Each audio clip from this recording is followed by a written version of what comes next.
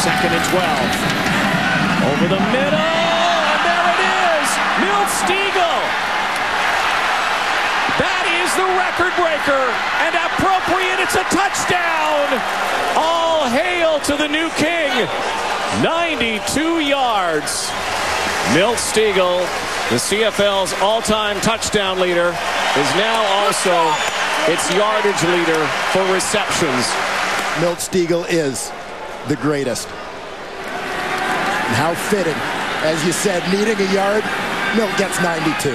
Milt, that was a spectacular play. First of all, tell the folks how it feels to be number one.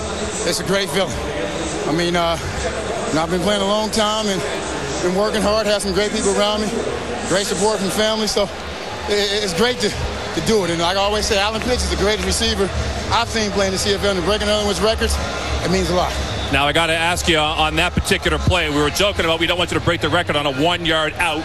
You didn't do that. You actually took the middle of the field, which is what you got your touchdown on as well. Now, was that post pattern your pattern, or did you jump in there and read the play? Now, Kevin told me they were playing cover zero, and I had the middle. He was going to throw it to me. I've been doing that for a long time. The first touchdown, I uh, little, did a little conversion. You know about that. You did a little bit of that in your career. But that second touchdown was a to call. Kevin made a great throw, and like they say, the rest is history. Milt Stegall, congratulations, man. You deserve it. Back to you guys.